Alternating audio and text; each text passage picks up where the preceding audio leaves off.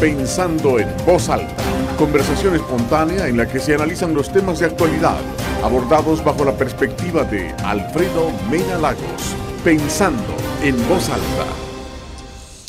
Buenos días, bienvenidos.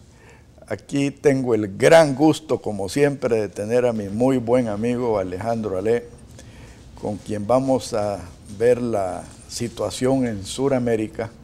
Alejandro es originario de, de Argentina, aunque yo lo considero un gran salvadoreño. Pero si alguien nos puede describir el proceso de Argentina, y también el de Venezuela y también el de Salvador es Alejandro. Él es un economista, eh, conocedor de nuestras realidades, pero más que todo con una visión que yo quisiera que todos los salvadoreños tuviéramos. Bienvenido, Alejandro. Bueno, muchas gracias. Qué presentación, Alfredo. Muy amable. Eh, te merece eso y más. Alejandro, quisiera empezar con nuestra querida Argentina. Y, y digo nuestra querida porque yo a pesar de no serlo, eh, le tengo mucho cariño a Argentina. Eh, ¿Nos puedes describir qué es lo que ha pasado en ese terremoto político que inició en Buenos Aires? Bueno, te referís a lo que ocurrió en las últimas elecciones a lo largo de casi todo el año 2015.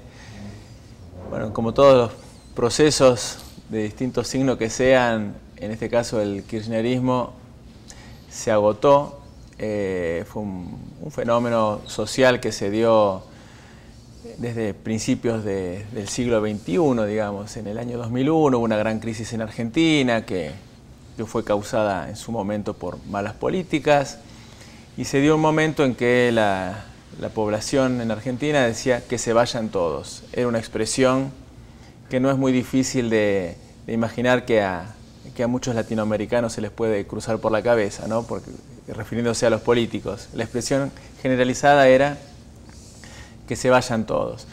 La realidad es que no se fue ninguno, simplemente este, hicieron como el camaleón, cambiaron un poco de, color y, se quedaron todos. Y lo que sí, aprovecharon un momento en el que eh, cada país tiene sus características. Eh, vino toda la, la, década, digamos, que arrancó en el 2001-2002 hasta 2012 más o menos, con precios de los commodities altísimos. Eh, en el caso de Argentina es un exportador muy grande de productos agropecuarios, eh, los precios internacionales de la soja, teniendo a China un tremendo comprador. El asunto es que empezó Argentina a crecer a tasas chinas por las grandes exportaciones. Este, y aparte venía de un nivel muy bajo. Entonces, después de la crisis del 2000, 2001, 2002, no era tan difícil crecer rápidamente y se produjo un fenómeno que encima tuvo, fue impulsado por los precios internacionales. Eso creó la ilusión de que se estaban haciendo las cosas muy bien en Argentina. Fue el primer gobierno, bueno, eh, Kirchner, Néstor Kirchner asumió en el 2003. Hasta ahí había habido una crisis política grande, como digo, que se vayan todos, hubo varios presidentes que duraron poco tiempo, entró Néstor Kirchner, que ganó con muy poca porcentaje de los votos en las elecciones del 2003 y este, de una manera de demostrarse firme que tenía poder, tomó una, posición bastante dura en, este, en, sus formas de actuar y todo, pero la realidad lo acompañaba con los precios de los commodities, la comparación contra el 2001 o 2002 siempre era muy fácil de ir para arriba, y él lo gobernó hasta el año 2007 eh, con métodos bastante duros, eh, cuestionables desde muchos puntos de vista. Él es de extracción peronista, él hay que ver de dónde venía. Él era gobernador de una provincia que se llama Santa Cruz, que es la provincia más al sur en el territorio, después ya viene la isla de Tierra del Fuego, al sur de la Patagonia. Y él había manejado un poco como su finca personal. Él había sido intendente de Río Gallegos, que es la capital de la provincia, después gobernador de la provincia. Los estados provinciales en Argentina tienen bastante autonomía, sobre todo cuando son petroleros y tienen muchas regalías, como es el caso de Santa Cruz. El asunto es que el tipo estaba acostumbrado a manejarse desde fines de los 80, está en, había estado en el gobierno, en municipales y provinciales, y tenía una forma bastante feudal de, manejarse. En el 2007, el, este, no participó de las elecciones y se presentó a su esposa, Cristina Kirchner. Por razones legales. Él podía haber ido a la reelección, pero tenían un plan, eso es lo que se dice, nunca sabe, ¿no? pero la, realidad y la biología se encargan de ponernos en el lugar adecuado cuando nos queremos olvidar de la realidad y de la biología. Eh, lo que ocurrió es que ellos tenían un plan que gobernaba un periodo él, un periodo ella, un periodo él, ella.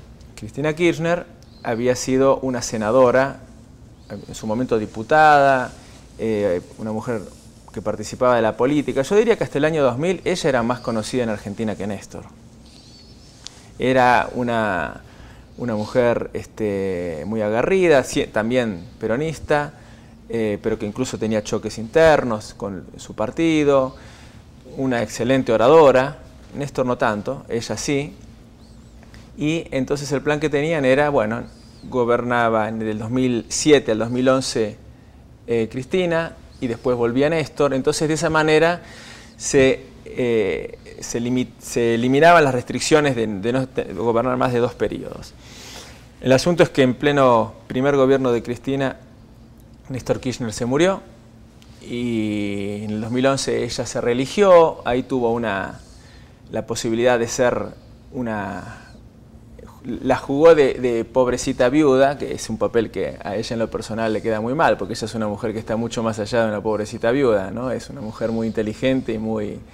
Y muy vivaz. Y muy vivaz y muy astuta y tiene este, muchas cualidades políticas que lamentablemente en sus dos periodos de gobierno, eh, en muchos aspectos, terminó tirando por la borda las cosas buenas que había hecho su marido, y que no, es, no era un santo de mi devoción.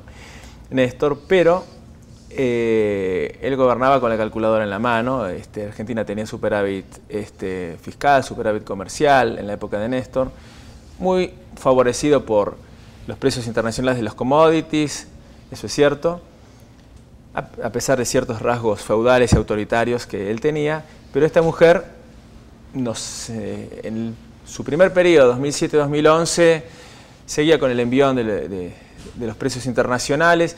Después se, radicalizó ideológicamente. Una, estas ideologías medio... Chavistas. Sí, pero que en el caso de ella es muy poco comprable, porque ella es una mujer que toda la vida le gustó ir a Nueva York a comprar sus, ropas y este, las carteras de marca. a los chavistas también. ¿Qué opinan los venezolanos? Yo opino de, los míos. este, pero no, muy poco comprable la, posición. Pero es como que se terminó creyendo su propia, su propia historieta. El relato. Hay una palabra en Argentina que se usa mucho. Yo hace más de 15 años que vivo aquí en El Salvador, pero estoy muy pendiente de las noticias de Argentina, participo mucho. Bueno, de hecho, en, estas elecciones, en, el, en balotaje, en la final final, eh, tuve el, gusto de ser presidente de la mesa en la Embajada Argentina acá, así que estuve contando los votos. Este, la realidad... No, te voy a decir qué dijo Stalin de eso. ahí, después. Ahí, me lo recordás, ahí me lo recordás. Este, me suena votos y botas, puede andar por aquel lado.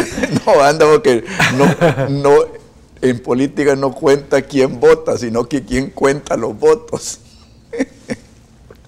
Qué terrible. y, qué válido, ¿no? Y qué válido. Bueno, de hecho, este, una de las cosas que, que los que queríamos que terminara ese proceso, que le había hecho mucho daño a la Argentina, este, muchas personas que no, no, hemos participado de la política activamente en Argentina, pero que somos seguidores y, que creemos que Argentina merece un destino mejor, que, al que lo estaba llevando el kirchnerismo, aunque ella ahora no se podía reelegir porque ella había tenido dos periodos, la, persona que competía, Daniel Scioli, eh, era lamentablemente un títere de, los kirchneristas y era un, desastre. Este, entonces, eh, este proceso había que terminarlo, pero justamente me agarro de lo que expresabas, había que contar los votos, pero no permitir que los contaran los que los podían contar mal. Entonces, muchos voluntarios nos ofrecimos para ir a contar votos, cada uno en el lugar que, le, que, podía, entonces yo me, aseguré de que los votos por lo menos fueran contados correctamente. Los de, la mesa que me tocó presidir fueran bien contados. Este, pero bueno, y el asunto es que la alternativa, se dio un fenómeno muy particular con Macri, ¿no? porque ahora, bueno, Macri, ¿quién es Macri? ¿De dónde salió y por qué? De, lo que había sido la, radicalización de Cristina Kirchner, que tuvo la oportunidad de, de mejorar cosas que había hecho su esposo, que había hecho ciertas cosas muy buenas, lo de la asignación universal por hijo y otras medidas de, apoyo social a ciertos grupos eh, muy eh, vulnerables.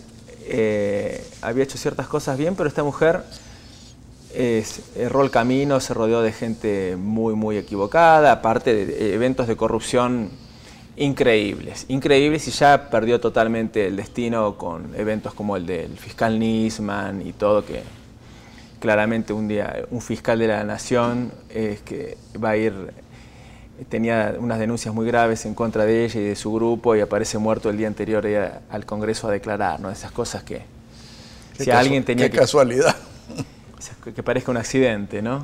Este, el asunto es que bueno, esas cosas colmaron el vaso eh, y, lamentablemente las cosas buenas que se habían hecho este, las, tiró por la borda y Argentina no, no merecía esto.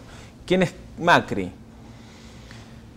Es un tipo que hace 20 años incursionó en el mundo público, digamos. Él siempre fue una persona muy conocida, es el hijo de Franco Macri, un italiano que llegó a la Argentina en el año 50 más o menos.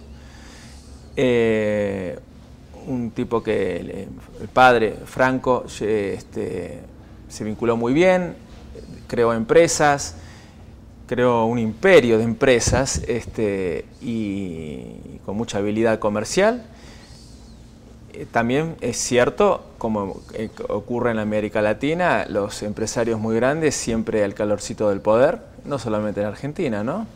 Este, pero esa fue su realidad, la de Franco Macri.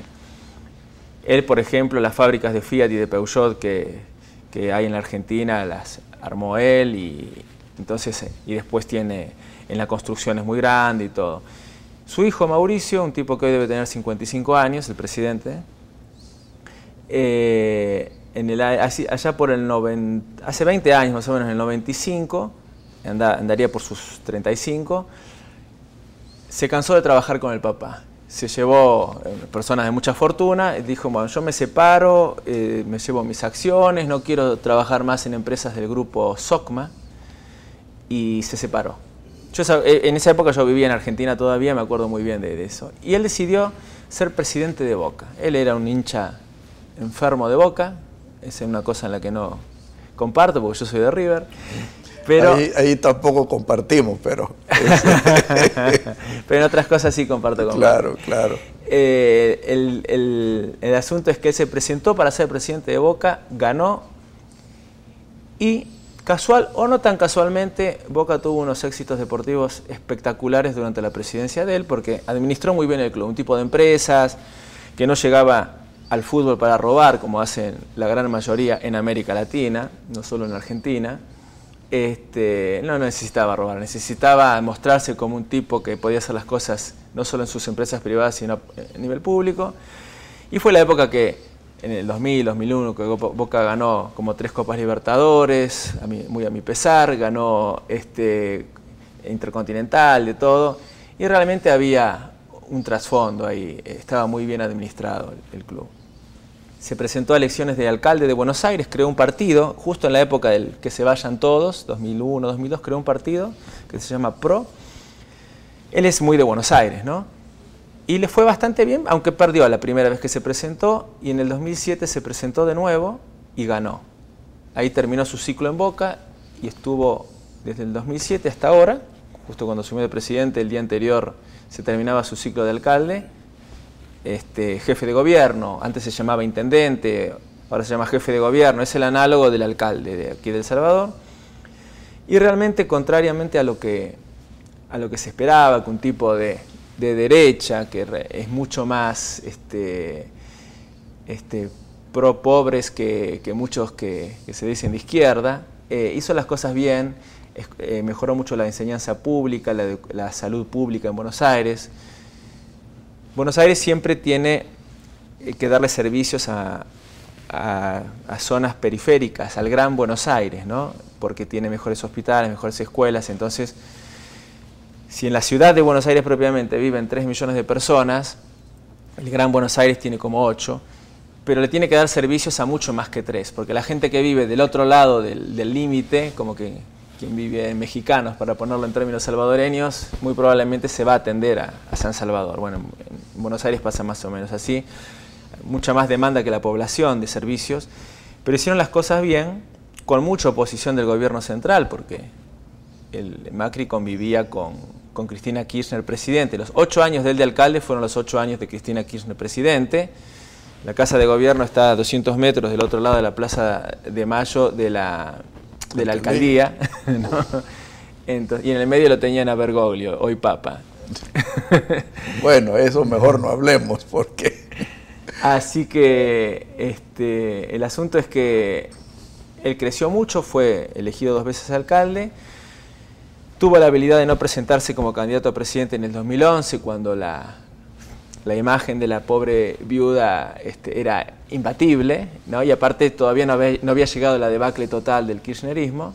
Se guardó, se religió de, alcalde y ahora se presentó y fue muy inteligente porque lo que hizo fue, se alió con un partido histórico que se llama la Unión Cívica Radical, se presentó a las elecciones como una alianza, cambiemos, que, porque el leitmotiv es hay que cambiar esta realidad. Eh, entonces su partido PRO pasó a ser parte de una alianza Cambiemos, pero liderada por él, el partido, la Unión Cívica Radical, un partido histórico de, de los años, de todo el siglo XX, este, que compartió en su momento fue la contraparte del peronismo, ahora se había diluido mucho, pero tiene mucha presencia a nivel de alcaldías municipales en el interior del país. Y este es el partido de, Raúl Alfonsín, que quien seguramente habrás oído hablar, ¿no? un, presidente que cometió errores en economía, pero que en, aspectos éticos está muy por encima del resto de lo que hemos conocido, por lo menos en Argentina. Eh, y bueno, y, ganó las elecciones, bueno, se presentó a primera rueda, el que salió primero eh, fue el candidato de Cristina, que sacó como el 35, 38% de los votos, Macri sacó el 30% y hubo un peronista, porque eh, hay un fenómeno que se llama Sergio Massa, hay un fenómeno en Argentina donde el peronismo, todos terminan siendo peronistas. ¿Y qué es peronista? Menem, que se había disfrazado de liberal, pero que era un mercantilista y un corrupto, ¿no? Ya vamos a hablar de, la historia de América Latina, ¿no? Porque nuestras ideas de la libertad, digo nuestras, tuyas y mías, este, están, tan, han sido tan vapuleadas por, por personajes indefendibles que en nombre de esas ideologías llegaron a gobernar y lo único que hicieron fue robar y, no hacer políticas liberales, sino políticas mercantilistas para favorecer a sus amigos empresarios. Eh, suena familiar, ¿verdad? Suena muy familiar también en El Salvador. es, un fenómeno muy latinoamericano. Pero ya me hicieron señales y no te quiero interrumpir porque esta es la parte medular de lo que vamos a hablar. Eh, ¿Me permites hacer un corte y, y por favor no nos cambie, ya volvemos? Alejandro,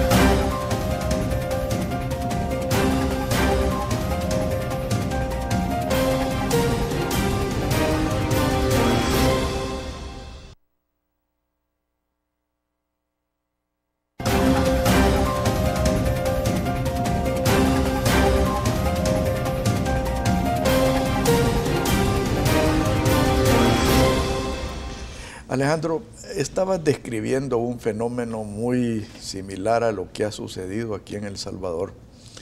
Y, creo que para nosotros los salvadoreños es particularmente interesante que tú desarrolles esa tesis del peronismo eh, disfrazado, porque aquí en El Salvador lo hemos vivido. Sí, es un fenómeno populista eh, me extiendo un poco con, Argentina, primero porque es el ámbito en el que me siento más cómodo y nadie me puede decir, este, te metes en política, sí me meto en la política, pero de mi país. Este, y, por otro lado, eh, claramente, aunque hace muchos años que no vivo en Argentina, es lo que me apasiona desde el punto de vista de la política y, lo, sigo, lo sigo muy de cerca. ¿no? Entonces me siento más cómodo y con más libertad hablando de mi país. Eh, pero creo que esos son fenómenos que, vale la pena analizar. Recién hablábamos de los, de, las grandes estafas que ocurrieron en tres países muy grandes de América Latina, en mi criterio. ¿no? Este, las estafas en Argentina con Menem, en Brasil con Color de Melo y en, este, y en México con Salinas de Gortari. Tipos que llegaron en los años 90 con el discurso de la libertad y terminaron siendo íconos de la corrupción. ¿no? Y, encima quemaron una buena idea. Y hoy, por eso por eso los, ciclos en Latinoamérica, por eso, ah, bueno, si estos eran los, los liberales o los, los que querían la libertad, y los que querían la libertad, cuando llegaron a, cuando vieron las alfombras rojas, lo que quisieron era la libertad del zorro en el gallinero, algo muy repugnante y que creo que a veces ahí fallamos los liberales en no enfatizar lo suficiente, porque para entender los fenómenos populistas es muy fácil criticarlos y lo escuchamos todos los días, incluso en, en, periódicos, acá en El Salvador, que siempre. Pero también hay que mirar un poco para atrás y ver por qué se dan estos fenómenos y si en alguna medida no son la única... Si no fueron alimentados en muchos casos por, por grupos empresariales que sacaron gran, gran beneficio de esto, en todos los países, y también por gente que no ve otra alternativa y que ante la, ante la posibilidad de que viene alguien que le ofrece algo que nunca tuvo, y que no tiene nada que perder. Y que termina perdiendo más que eso. Pero como los humanos no miramos tan a largo plazo y no tenemos la seguridad, y bueno, mientras me están ayudando con esto, yo lo aplaudo y lo voto. Entonces, bueno, eso ya también es un tema para un debate más. Qué fácil que es falsear las democracias, ¿no? Este, porque los populistas han aprendido muy bien el negocio. Eh, el fenómeno del peronismo, que creo que se puede extrapolar a, otros países, eh, un tipo que agarró un país en el año 45, eh, se dio cuenta de que había masas este, obreras que necesitaban un líder, él era, él era parte de un gobierno de facto, un gobierno militar que había en el año 45, el presidente O'Farrell, me gusta mucho la historia a mí.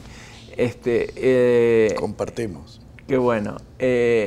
Y él era ministro de Trabajo de ese gobierno en el 45, y el famoso 17 de octubre del 45, ¿qué fue? Fue el día que lo echaron del Ministerio de Trabajo, eh, el, presidente de facto, Farrell, lo echó y, dijo, este tipo es demasiado popular entre los obreros, y, y Perón era un militar, que estaba ocupando el Ministerio de Trabajo, y lo echó. Porque el tipo estaba creando su movimiento. Bueno, al final de cuentas llegó Evita, que era su novia joven, el, Perón en esos años tendría 50 años, Evita tendría 20, 22. Era, era bailarina de un cabaret. Era bailarina. Para, ponerlo. Era actriz. Bueno, según el grado de peronismo le podés dar distinta. O era una actriz o era. Otra cosa. Eh, pero eso depende del grado de antiperonismo que tengas. Eh, y bueno, y ella fue y movió masas y todo. Y fueron a la Plaza de Mayo a, hacer una manifestación y lo tuvieron que soltar. Y a los pocos meses hubo elecciones. ¿Y quién iba a ganar en ese contexto? Ganó y se, presentó y ganó. Y, este, y dio muchos beneficios sociales que uno puede decir hubieran llegado de todos modos porque era, la era, la tendencia mundial, sí, pero la realidad es que antes de Perón no había vacaciones pagas en la Argentina, después de Perón sí las hubo.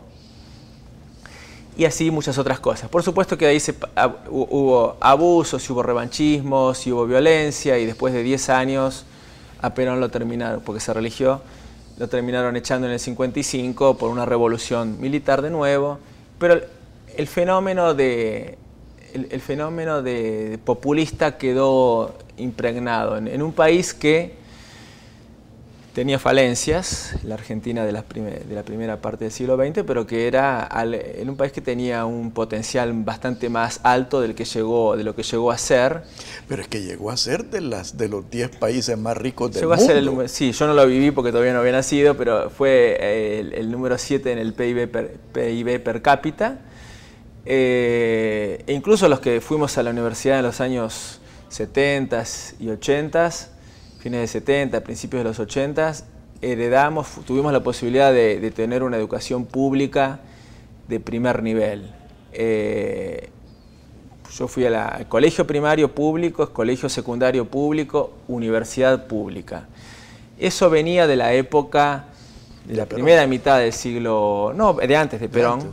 Eh, con Perón se, dañó un poco, digamos, si se lo quiere ver así, pero, pero siguió teniendo un muy buen nivel.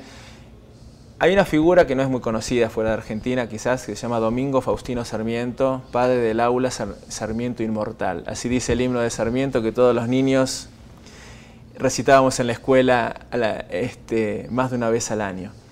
Eh, y es el, eh, fue un presidente del siglo XIX que dijo, bueno, a esta pampa salvaje hay que educarla, hay que educar al soberano. ¿Quién es el soberano? El pueblo. Bueno, él tenía tan claras esas cosas, fue a Estados Unidos, llevó maestras de Estados Unidos a la Argentina, eh, este, que sabían hablar español, y creó, entonces él fue realmente, aparte de ser un presidente, fue eh, el padre de la educación pública y de la salud pública también, siglo XIX. A veces también hay disputas. Eh, yo creo que ciertos niveles de, educación y de salud, por más que algunos también liberales como yo no lo compartan, yo creo que son esenciales. No hay, no hay posibilidad, no se puede pretender que haya una competencia si no está bien cubierta no para que le hagan la cirugía estética para que se mejore la naricita, ¿no? porque eh, después derivan en esas estupideces, pero sí para que las personas este, tengan la posibilidad. aquí ya hubieron operaciones de nariz, ¿verdad? Sí, sí, mirar los diarios en cualquier lugar de América Latina te das cuenta que la salud pública termina en esas cosas y después no hay gas en los hospitales. Yo estoy hablando del expresidente de la Asamblea salvadoreña. Ah, bueno, pero ese se la habrá pagado. no, no, no, hablaba de él, no hablaba de él. No, no, se la pagó el seguro. Vos sos malo, ¿eh? No, es que... pero bueno, este, y deben haber tenido bastante trabajo ahí, ¿no? Porque era grande. trabajo, sí. Este... Pero no, volviendo al punto, eh, y Sarmiento fue un impulsor de estas cosas, ¿no es cierto? Y esos fueron estadistas que Argentina tuvo la fortuna de tener fines del siglo XIX, primeras partes del XX, seguía habiendo problemas sociales importantes, era la tendencia mundial que se fuera hacia vacaciones pagas, las puso Perón, es decir, el tipo hizo cosas eh, razonables en su momento, pero con mucho poder terminó degenerando y hoy cualquiera se pone la camiseta de peronista, porque Menem, que hablamos hace un rato de él, era del partido peronista. Este, y los Kirchner, que en algún punto este, terminaron en, el gobierno de los Kirchner detestando a Menem, a pesar de que cuando Menem era presidente y Néstor era gobernador, Néstor dijo, es el Menem es el mejor presidente de la historia, porque le, le aseguró las, regalías petroleras de la provincia de Santa Cruz, ¿no? porque este, el discurso es según como, como te va en cada momento. Pero bueno, este, son fenómenos populistas que la manera de erradicarlas es con, este, eh, con educación, es una solución de, no es de corto plazo. Y también, si bien uno, ya hablando más en general, no solo de Argentina, uno critica las, ciertas políticas populistas y, por supuesto que, no, comparte muchas de las, cosas que se hacen, hay que entender lo que decía hace un rato, ¿por qué ocurren? no, será que en la época en que, en, que Venezuela, eh, sin justificar a Chávez por supuesto, sería, no sería yo quien lo hiciera, pero ¿por qué se llegó a eso? El fracaso de la clase política. Ah, em, fracaso miserable. Entonces, ¿por qué se llegó a eso? Entonces, la persona que está ahí... ¿Qué está sucediendo aquí? ¿Qué sucede? Lamentablemente en América Latina parecemos condenados a, las malas experiencias. Las malas experiencias, ¿no? Este, el fracaso de la clase política, entonces después es muy fácil decir, ah, este es eh, estos lo, votaron a tal, votaron a, este partido populista, de izquierda, qué sé yo, bueno, pero ¿qué alternativa le mostraba a la derecha, por decir, si pudiéramos hablar de derechas e izquierdas, ¿no? Entonces, y yo sé que sos muy crítico de, de los de los, de, los que dicen ser de derecha en El Salvador, ¿no? De la falsa derecha. Cuando escribí a mí me gustaba decir los que dicen ser de derecha y los que dicen ser de izquierda, porque en realidad... Son falsos. Son falsos, los dos. Los dos, sí. Eh, así que bueno, esos son fenómenos que la solución no es a corto plazo, es, eh, pero hay que empezar. Y bueno, eh, las instituciones democráticas son vitales, que haya personas idóneas en el manejo de las instituciones, y que la población esté atenta, ¿no? Siempre son cosas muy fáciles de decir, y, pero bueno, los populistas han encontrado la manera de manipular las democracias y haciendo trampas. Este, te contaba, en las que, me quedó, en la primera rueda, eh, Scioli, que es el candidato de Cristina, sacó 38%, Macri 30% y Massa, un peronista más ortodoxo, un tipo joven, sacó, que hoy se está llevando muy bien con Macri, sacó 20%. Como ninguno llegó al 40 ni tuvo más, hay una, regla medio rara, medio como la nicaragüense, segunda vuelta, y en la segunda vuelta fue el 1 y el 2, ¿no? Y Macri ahí sí le ganó a Scioli, le ganó por muy poco, porque los kirchneristas hicieron una campaña de miedo. Si Macri es presidente, te van a quitar tus conquistas este, sociales. y esto y el otro ese discurso vende, el miedo vende. El, asunto es que, y también este, había que estar controlando las urnas porque había habido en este mismo año, en otras elecciones, quemas de urnas, eh, trampas, entonces por Me eso... Me imagino que tenía buenos asesores de Venezuela, de Cuba, de Nicaragua. Cristina, Cristina recibía más que asesoramiento, recibía efectivo. Está la historia de los de los 800 mil dólares que se descubrieron, que por supuesto que 800 mil dólares es caja chica para esta gente, ¿no? Que, había recibido en un avión privado que, llegaba de Venezuela y, bueno, pero son, son cosas que, ocurren y, bueno, afortunadamente ya es, historia pasada, ¿no? En Argentina. Pero fíjate que eh, eh, eso del pasado, fíjate que yo tuve la oportunidad de escuchar una entrevista a, Henry Ramos Alup, el nuevo presidente de la Asamblea Legislativa de Venezuela. Y una de las cosas que me gustó mucho es que dijo que el pasado solo para aprender, porque ya está hecho y no se puede cambiar. Y el futuro es tan incierto que es un ejercicio hasta cierto punto inútil. Eh, hay que hablar del presente. Eh, y en ese sentido, yo creo que el presente de Argentina ha generado un terremoto político en Latinoamérica. O sea, que desembocó en lo que sucedió en Venezuela y lo que está por suceder. O sea, porque yo creo que estas ondas expansivas van a tener efectos en Bolivia, en Ecuador, en Nicaragua. Eh, me gustaría conocer tu opinión del efecto del resultado electoral argentino en el resto de Latinoamérica. Sí, seguramente va a tener efectos. Son países grandes, en muchos aspectos referentes y, el resto de América Latina mira bastante qué pasa en Argentina, qué pasa en México.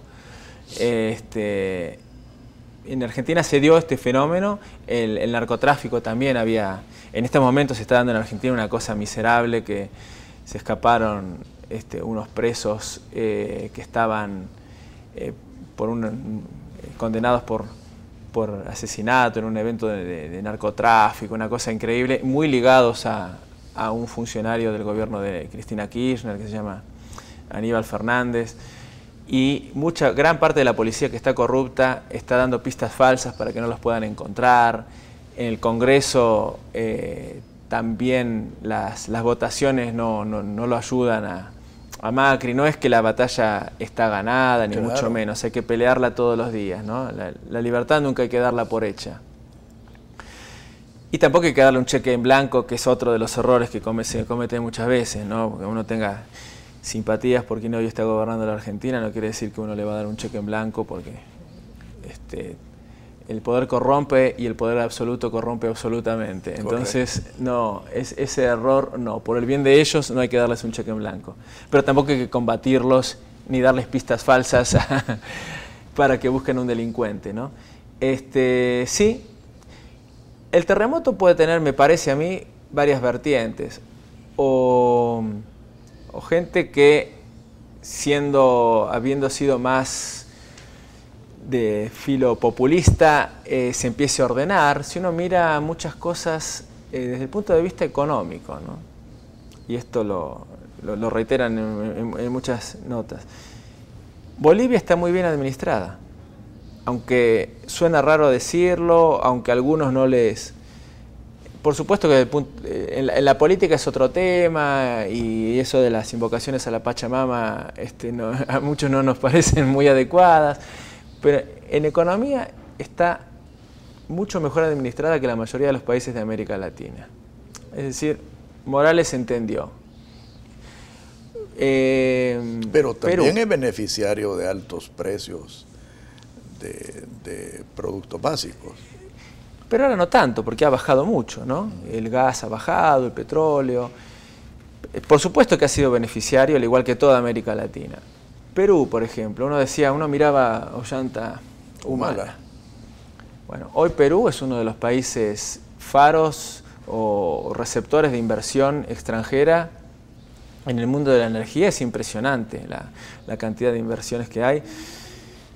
Y hasta se dio que la, cuando en, las elecciones pasadas, creo que hasta Vargas Llosa terminó apoyando a Humala. Yo no sé si era porque no quería que ganara la hija de Fujimori o, era por... Pero la realidad es que el tipo se ordenó mucho de, haber sido alguien que todo indicaba que iba a ser...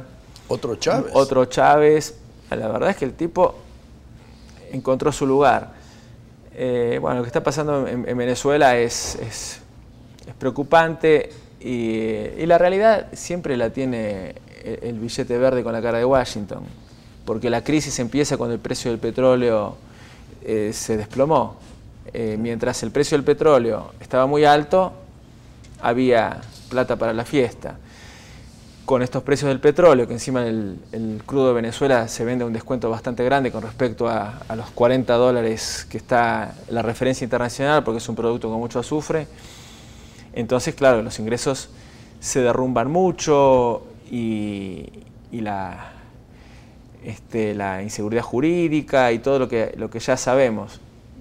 En algún momento se va a tener que ordenar, porque si no... Este, y, ya vamos a hablar de eso, en qué va a consistir ese ordenamiento, porque yo sí siento de que hay mucho por venir. Por favor, no nos cambie, ya volvemos.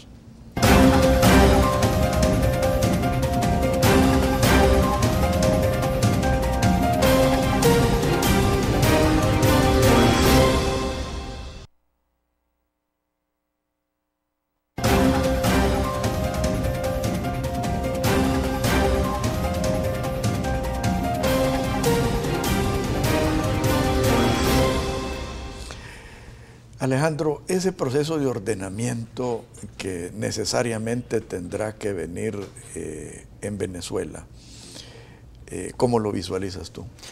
No soy un seguidor muy... Lo, miro de una manera un, poco lejana, no tengo, no tengo la... Más allá de los noticieros, no, no podría... No tengo la capacidad para opinar.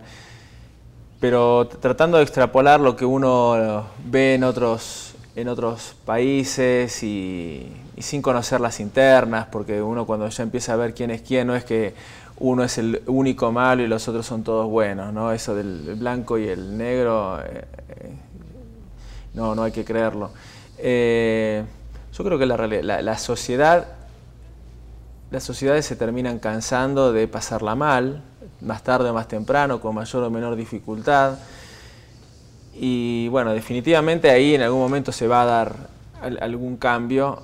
Eh, pero el problema de que la gente la pase mal muchas veces tiene que ver más con la mala administración que con la ideología. Y, yo le quitaría muchas veces, ¿no? Eh, hablábamos fuera de cámara del caso de, Nicaragua. Eh, uno escucha, tampoco conozco la realidad de Nicaragua como podría conocer la de El Salvador, pero eh, una escucha que, está ordenado, que no hay, uno sabe que no hay los niveles de inseguridad que se dan, hay un Estado fuerte, si se quiere autoritario y todo, pero en el fondo en algún punto, y también tampoco voy a ser yo quien aplauda a alguien como Daniel Ortega, pero en algún punto tiene la lucidez de, administrar bien la cosa pública, y en el fondo de eso, de eso es lo que se trata.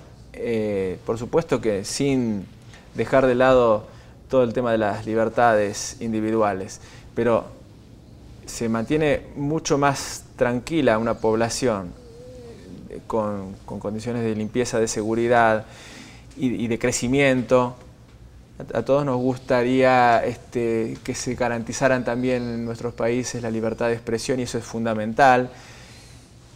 Pero este, hay puntos medios en los cuales están los que son populistas y son un desastre y administran mal la cosa pública, y eso tiene que ver mucho más con la administración que con la política, o con la falta de capacidad de administración, y otros que teniendo la ideología que a vos y a mí puede no gustarnos, administran mejor la cosa pública. Y con esos eh, yo no tengo tantos problemas con los que eh, administran bien la cosa pública. No porque vaya a prenderle una vela, sigo creyendo, mi, referente en temas este, eh, filosóficos sigue siendo Hayek y, y la Escuela Austríaca de Economía.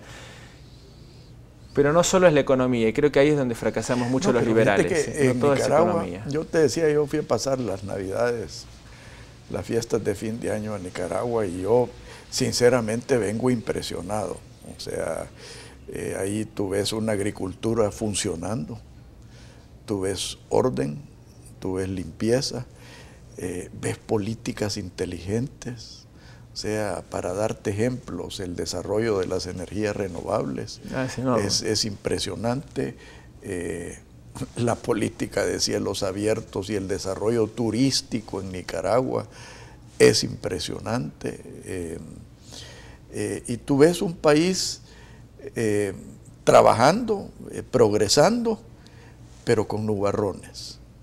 O sea, tú ves el atropello a la democracia, tú ves el atropello a la libertad de expresión, tú eh, ya empiezas a vislumbrar de que Anastasio Somoza se queda pequeño comparado con Ortega y su mujer, o sea, el control que ejercen a nivel familiar, que inclusive se rumora que el hermano de Ortega ya está empezando a, a resentir eso, porque supuestamente lucharon por eliminar esas prácticas y las están repitiendo. Pero como tú muy bien dices, eh, por de pronto todo está muy bien. Administran bien la cosa pública, lo cual no es suficiente porque el tema de la libertad, para los que creemos en la libertad, siempre es importante, pero es un escenario mucho mejor que, ahí donde no se administra bien la cosa pública. ¿no? Bueno, eh, eh, todos hablamos mucho de, Singapur. tuve oportunidad de estar hace poco. Es un país absolutamente totalitario. Eh, eh, hace 50 años, cumplió 50 años, eh, vos entrás y en el pasaporte te dan el papelito que dice, palabra más, palabra menos, dice, dese por enterado, los narcotraficantes tienen pena de muerte. Así como para te ponen en, no, autos. Y te, multan y por, te la van a cumplir. por masticar chicle. sí. Y la, realidad es que vos ahí podés caminar de noche, no te pasa nada y todo. Ahora, ¿se respetan las libertades individuales? Bueno, yo solamente fui por un tema de negocios unos pocos días, pero eh, no da la impresión, no, no, da, esa impresión. Este, y no es que las vamos a aplaudir por eso, pero por otro lado ves, estos tipos administran la cosa pública como nadie. ¿Sabes cuánto gana un ministro, por ejemplo? Dos millones de dólares al año. La empresa petrolera con la que estamos trabajando en el proyecto tiene oficinas allá, entonces hablamos mucho con, la gente. De ellos. Eh, ¿Y a vos te parece bien o mal eso? A mí me parece una maravilla. Pero aparte son depende, PhD, de Stanford. y, depende de los resultados. los resultados es mucho más barato que la corrupción. Claro, por supuesto. mucho más barato que la corrupción. Por supuesto. Este, y bueno, y, y ves que todo funciona y bueno, este, y son sociedades que hace 50 años eran un desastre. Porque vos ves fotos, no de hace 50, de hace 30 años. El río Singapur todo contaminado. Eh, gente que entre ellas se sigue hablando en su, idioma. Eh, eso es lo que uno que vive aquí en, Centroamérica desde hace muchos años dice, bueno, si estos tipos lo pudieron hacer, ¿por qué El Salvador no va a poder? Esa gente habla en inglés, porque se tuvieron que acostumbrar a hablar en inglés, porque son un montón de distintas lenguas, hay gente de la India, de China, de Malasia. Bueno, y entre ellos vos te das cuenta, porque vos les hablas en inglés, pero entre ellos se hablan en, sus idiomas, por eso el inglés lo hablan pésimo. Pero, lo hablan. Pero lo hablan, y te entendés con ellos y todo. Y tienen un país súper bien administrado, una maravilla, muy abierto, crear una empresa este, en un día la tenés creada. Bueno, entonces uno dice, si esta gente que venía de mucho más abajo de donde viene Centroamérica, lo pudo hacer y está del otro lado del mundo, El Salvador, que tiene el mismo uso horario que Estados Unidos, que eso es muy importante, tener el uso horario de una, de una potencia, que está tan cerca, tiene una posición, está en el ombligo de América, eh, que no tiene esos problemas raciales, ni acá nadie tiene que... Ni religiosos. ni religiosos, ni nadie tiene que aprender a hablar otro idioma, ni... Tiene todo, pero claro, hay que, hay que liberarse de la politiquería, ¿no?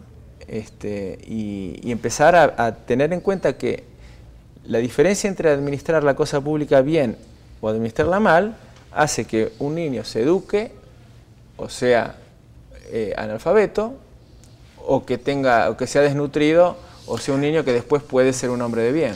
Bueno, yo, yo tengo una teoría y quizás la vamos a discutir en otro programa y antes de eso la vamos a discutir eh, socialmente. Es que mucho tiene que ver la religión. O sea... Eh, Max Weber. Max Weber. O sea, ¿por qué los países protestantes son ricos y los católicos son pobres? Pero como te digo, es tema de, otro programa.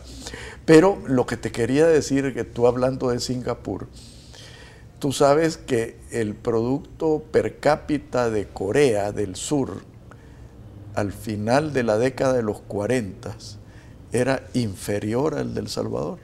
No, no tenía ese dato, pero no me sorprende, porque sí, el sudeste asiático viene de, el sudeste asiático más Corea, que no es técnicamente tan sudeste asiático, pero que está ahí cerca, eh, sí, eh, vienen de, la más paupérrima La educación, la disciplina y hasta cierto punto la autocracia.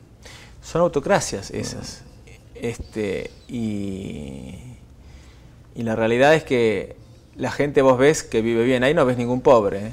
Sí pero claro, me imagino que tiene que haber bajos niveles de corrupción, corrupción cero no existe, que debe haber bajos niveles de corrupción y ves que las cosas funcionan y que la gente es muy ordenada y todo. Culturalmente, de este lado del mundo, uno dice, no, no, es lo que uno este, esperaría ver, eh, pero la realidad objetiva es que esa gente, ahí no ves gente pidiendo hambre, no ves violencia, no ves nada, ¿no? Entonces, creo que de, distintos modelos hay que tomar cosas. Y ahí yo lo que tomo es, che, estos tipos administran bien la cosa pública, aprendamos eso.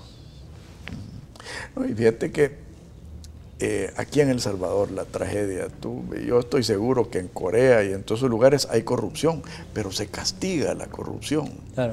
Aquí acabamos de presenciar el triste espectáculo de la ley de probidad, que lo que es es un blindaje para corruptos, viniendo de un gobierno que entró eh, para eliminar la corrupción. Yo he perdido el respeto que lo he tenido porque yo debo confesarte que cuando estuve en el gobierno, el Banco Mundial nos, nos donó un viaje a Singapur, a Malasia, a Nueva Zelanda, y llevamos diputados, sindicalistas, empresarios, éramos un grupo como de 40, yo tuve el honor de liderar ese, ese viaje, precisamente para presenciar el proceso de modernización. Y uno de los que fue a ese viaje fue Salvador Sánchez Serén, entonces diputado. Y yo siempre te, y mantengo y sigo teniendo la idea de que él en lo personal es esencialmente un hombre honesto, aunque muy equivocado, pero un hombre honesto. Me decepcionó muchísimo el que haya sancionado esa ley de probidad. Porque, como te digo, es un blindaje para los corruptos. Sí, es, Muchas veces en la política hay, que lidiar con cosas con las que... Tal vez el pobre hombre está rodeado de una mafia que... pero no sé, o sea... Eh, es complicada la política. Complicada. Pero volviendo al tema de Venezuela, eh, eh, yo sí creo que vienen cosas terribles porque el aparato que se montó alrededor de la corrupción, del narcotráfico, de el vivir de la cosa pública, eh, va a ser difícil de desmantelar. Eh, y toda esa gente que se ha enriquecido a costa del petróleo de Venezuela, eh, no va a querer soltar esa vaca así nomás. Los, nuevos ricos, ¿no? Los nuevos ricos que... Es que no son ni ricos, son multimillonarios. sí. Es, al final de cuentas siempre es un tema económico, ¿no? ¿Quién, quién se queda con la, con la porción más grande de la torta? Eh, Sí, hay, ojalá que no se den estos eh, eventos de violencia, que lamentablemente son habituales en América Latina en momentos de, cambios. Eh, es, es, complicado, no, no sabemos cómo va a, derivar el caso de Venezuela. A lo mejor entran en razón y, y se puede ir hacia un cambio. El hecho de que la Asamblea, de que la Asamblea ahora tenga una composición distinta y que, bueno, que hayan asumido, quizás sea algo alentador, ¿no? Este, sin firmarle un cheque en blanco a nadie. No, yo creo que parte de lo alentador es que la Fuerza Armada de Venezuela, y cuando hablo de la Fuerza Armada hago, hablo del ejército de Venezuela, no de la Guardia Nacional, que aparentemente hay una división. muy clara. O sea, la Guardia Nacional está muy corrupta, generales de la Guardia involucrados en el tráfico de drogas, eh, eh, pero parece que el ejército venezolano eh, sí exigió que se respetara la voluntad popular. Y aparentemente también el ejército venezolano exigió que se permitiera a la nueva asamblea tomar posesión.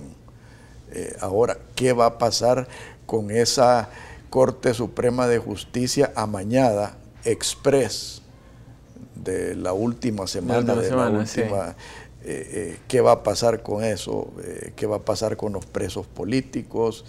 El tema de los presos políticos sí es un tema condenable, ¿no? que creo que ese fue en, el, en la primera reunión del, Mercosur extendido, que Macri, Macri criticó el tema de los presos políticos, yo creo que ahí sí no debiera haber dudas. Eh, estamos hablando de, los temas de la libertad, no es un tema de la ideología, porque la derecha también se ha caracterizado con gobiernos autoritarios en tener presos políticos, entonces tenemos que condenarlos, cualquiera sea el signo de quien esté gobernando de manera autoritaria, hay que condenar la falta de las libertades individuales. Y eso eh, fue lo que Macri enfatizó en esa reunión, que le, contestaron con agresiones, pero bueno, ahí, quedó. Eh, el, tema ese sí, y es algo en lo que el Mercosur no ha... El presidente Tabaré Vázquez eh, sí eh, se, diferencia un poco del resto del Mercosur en la crítica. Dilma Rousseff no, pero, pero ahí también está muy atada, está muy débil políticamente, le debe un montón de dinero a Venezuela, ahí ya hay otra, no, y otra tiene problemas de corrupción terribles. Y problemas de corrupción que son endémicos, ¿no? Sí. No, es, es, es, interesante. Yo, yo sí creo que eh, las repercusiones políticas en el resto de Sudamérica y aquí también en Centroamérica van a ser bien claras. O sea, parte de esa bonanza de Nicaragua viene del saqueo de Venezuela. Eh, se rumora de que eh, Nicaragua, la Nicaragua sandinista ha sido beneficiaria de más de 2 mil millones de dólares eh, para su grupito ALBA. Eso aquí en El Salvador se va a terminar también. hay temas salvadoreños que yo creo que más adelante vamos a, a tener que tocar en este programa es quién va a asumir la deuda eh, de Alba Petróleos. O sea, que se firmó por un grupo de alcaldías del frente, sin ningún aval. Eh. Sí, yo entiendo que técnicamente no es deuda soberana. No es deuda soberana. Lo cual es para quienes estamos para quienes pagamos impuestos es una buena noticia. Eh, no sé cómo se va a resolver eh, eh, los niveles de deuda si es que existen. Entiendo que no es deuda soberana, con lo cual será un problema de, pues, Venezuela. Pero ojalá que no se les vaya a ocurrir soberanizar esa deuda. Nacionalizar las deudas y privatizar los, los ingresos es una historia muy conocida en Argentina. Aquí también, aquí también privatizar los beneficios y, socializar los, los perjuicios. los perjuicios, sí. Bueno, pues Alejandro, siempre es un gusto platicar contigo. Yo, Muchas gracias. Yo te agradezco, siempre te lo he dicho que te considero un gran salvadoreño. Eh, Qué orgullo, gracias. Sos una de las personas que aporta mucho a este país, no solo a nivel empresarial, sino que a nivel intelectual. Y, te digo, para mí es un honor, un honor eh, ser tu amigo. Eh, es mutua. Muchas gracias, Alfredo. Gracias, Alejandro. Que Dios los bendiga a todos. Muy buenos días. Esto fue Pensando en Voz Alta, conversación espontánea en la que se analizan los temas de actualidad, abordados bajo la perspectiva de Alfredo Mena Lagos. Pensando en Voz Alta.